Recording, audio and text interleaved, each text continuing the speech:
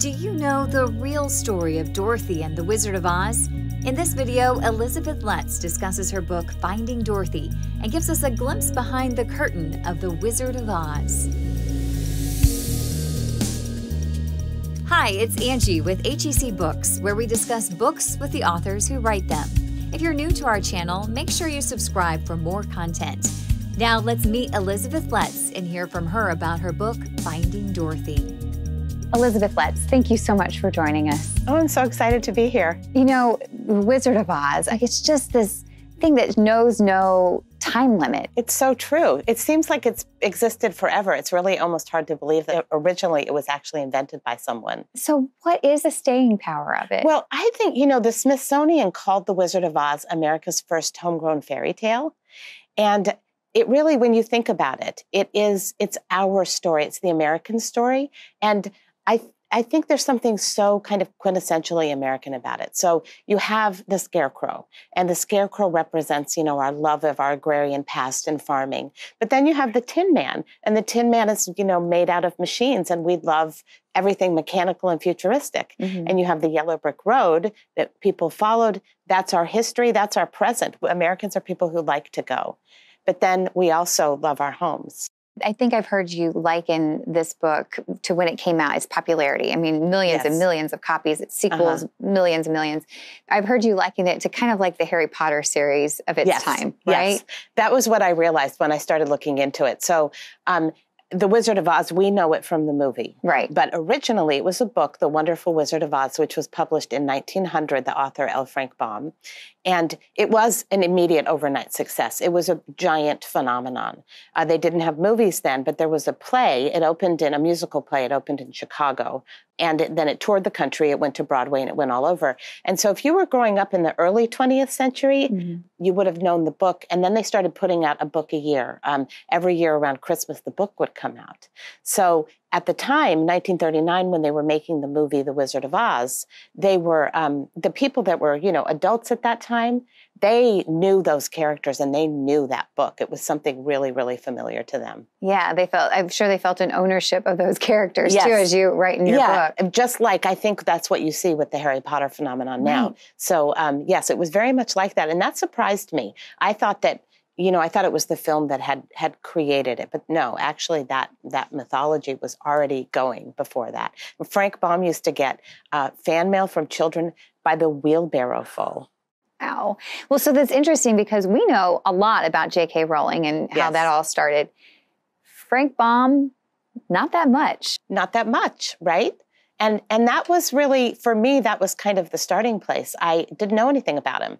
And I was reading the book aloud to my son about 6 or 7 years ago as a bedtime story. I had read it as a child and honestly the book didn't make such a big impression on me when when I was reading it. It was um it, was the movie that I remembered. But I was reading it to my son. All of a sudden, I thought, well, it's got this whole different layer that I never, you know how that happens when mm-hmm. you when are you get... reading something or, or see a movie and it's supposed to be for children, but then right. there's this whole other level. That's what happened. And that's when I realized that I didn't know anything about the author. And so I'm an author. And I thought, why don't, did he ever write another book? Who is this fellow, L. Frank Baum? What's the L stand for? You yeah. know? And so I looked him up. And that was how I got interested in the first place. And then I saw that you were interested, but you knew that it was a real book that you could write when you saw a picture. Is that right? That's right. So, one of the things I learned when I looked him up was that he dedicated the book to his wife. Uh, his wife's name was Maud. And the dedication, which I really loved, was to my good friend and comrade, my wife.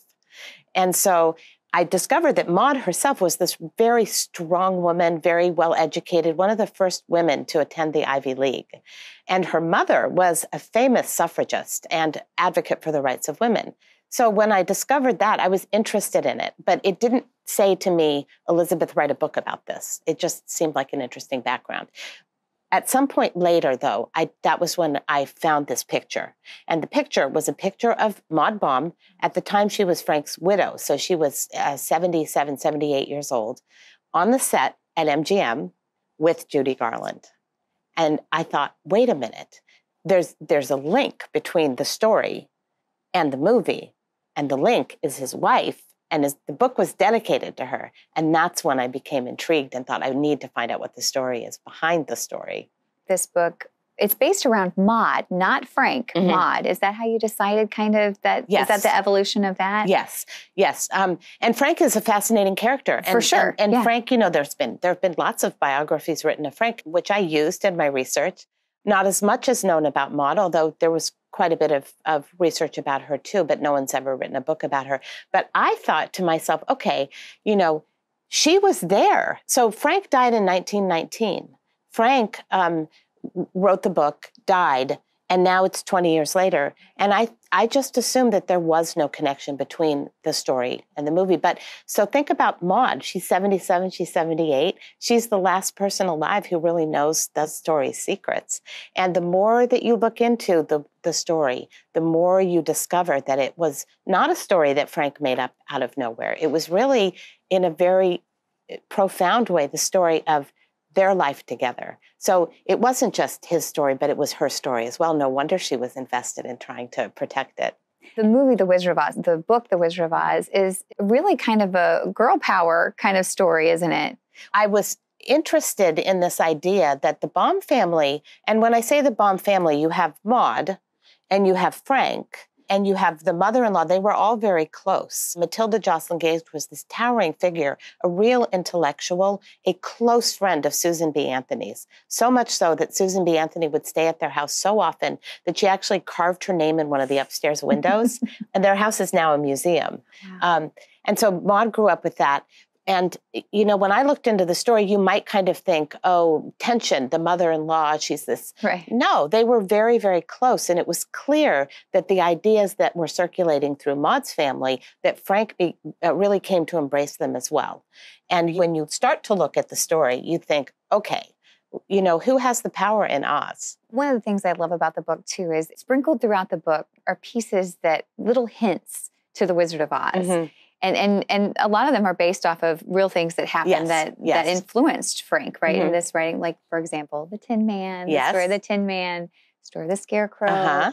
story of the witches. Yes, all of that comes from fact. Yes, love it. It's and we don't want to give it away because it's part of the fun, unless there's any kind of little hints you want to give to any well, of one of the things that's so I can tell you a little bit about the witches because I don't think this gives away too much. But um, Matilda Joslyn Gage, as I said, she was a very um, progressive woman, and she became interested in the history of witchcraft. Mm. And she wrote a book in which she she did um, quite a bit of research. She thought that a lot of times it was smart women who were being accused of witchcraft, and that witchcraft was basically being um, used to kind of keep women down and keep them in their place. And so there was a very direct tie between Matilda and her beliefs and and the presence of the witches in Oz.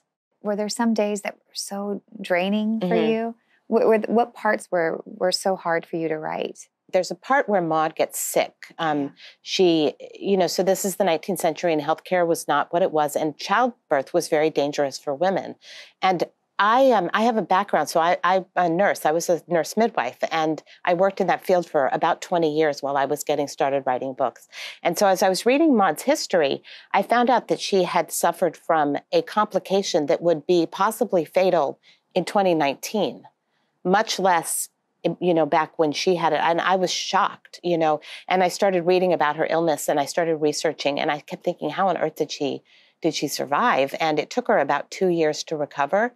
So that part was really emotional for me, thinking about, um, you know, thank goodness now childbirth is so much safer and um, something like that would be very unlikely to happen. But then I kept thinking about how much grit did this woman have to, to live through? It was very, very, so that part was painful. Another part that I found really emotionally, I guess, intense all of the scenes with Judy Garland. I knew uh, you were going to say that. Yeah. Because it, it, just it breaks your heart because you, you don't when you watch The Wizard of Oz. Yeah. You don't think about that at all. No. All the things that were that yeah. happened, and that's well documented. Very well things. documented. Yes. And she was 15 year old girl when they started filming. And think about Hollywood in those days. Um, it's interesting because the reason that Louis B. Mayer wanted to make the film was that Disney had had a really big success with Snow White and the Seven Dwarfs, which is an animated film. They didn't know if you could really do a, an, a, a fantasy on film. Mm. They weren't sure, but but they were going to try, and because special effects were coming along, and they were going to kind of invent this as they went along. But the real difficulty with Oz was that it, the entire story hangs on a, on a, a, girl child and a bunch of people in animal and other kinds of right. costumes, right? right? So so um, and actually there was only one really famous child star at the time, and it was Shirley Temple.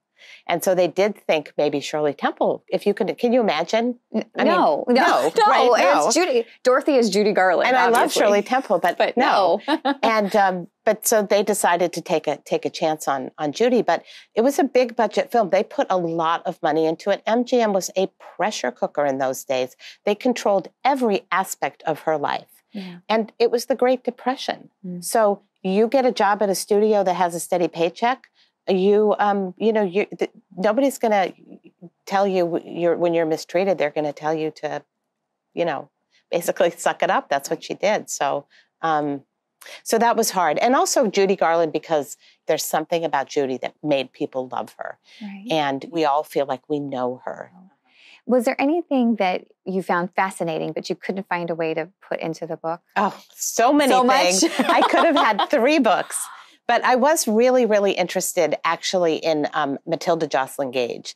And um, so one of the things that I thought was really fascinating, and I end up kind of just mentioning it in passing, was that she actually, for, for 1876, which was the country's centennial, she wrote with Susan B. Anthony and Elizabeth Cady Stanton a Declaration of the Rights of Women.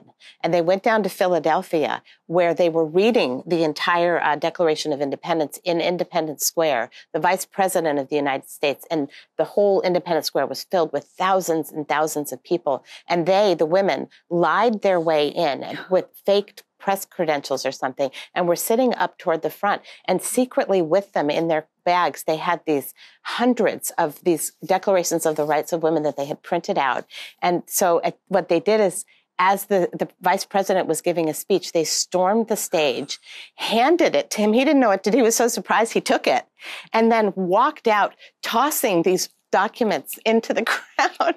In 1876. In I 1876. Mean, like today, okay, but 1876. in 1876. Can you imagine? No. So I absolutely just I love that, and I wrote a, I wrote a whole chapter about it. it. Didn't end up going into the book, but the image of of of that happening. And one of the things that was really I thought was really great was that when they wrote it, they dedicated it to they to the daughters of 1976. So they were saying, 100 years from now, if we do this now, um, we will will it'll be good for for us. And you know sometimes i feel discouraged. I think you know judy garland uh, with harassment in the studio in in 1939 and we're talking about me too 80 years later and that's discouraging. But then i think about about these women i think okay that's all right because they fought and they fought and maybe they didn't get it but their daughters did.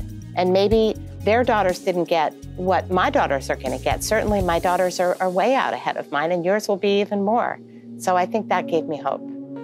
Thanks for watching, and if you liked this video, please give us a thumbs up and subscribe for more like it. Stay tuned for the second part of this interview where Letts will discuss the research it took to write her book.